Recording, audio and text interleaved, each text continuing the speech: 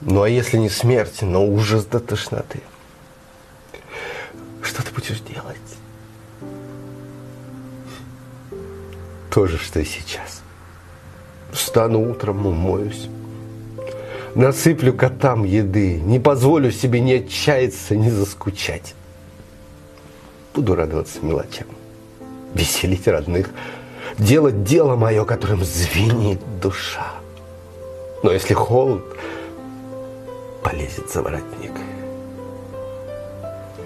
И я надену шарф. Но если не просто холод, а тьма без дна, если плоть твоя станет бессильна, а волос сед, что ты будешь делать, если придет война? Что ты сможешь на этой войне?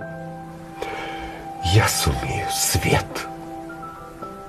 Отбери у меня мою молодость, гордость, дом, да хоть тело мое по кускам у меня забери.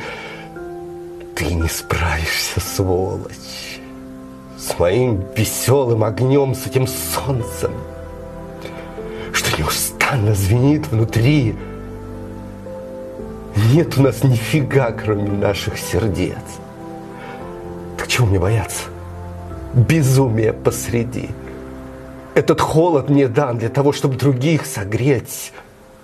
Эта тьма мне дана для того, чтобы в ней светить.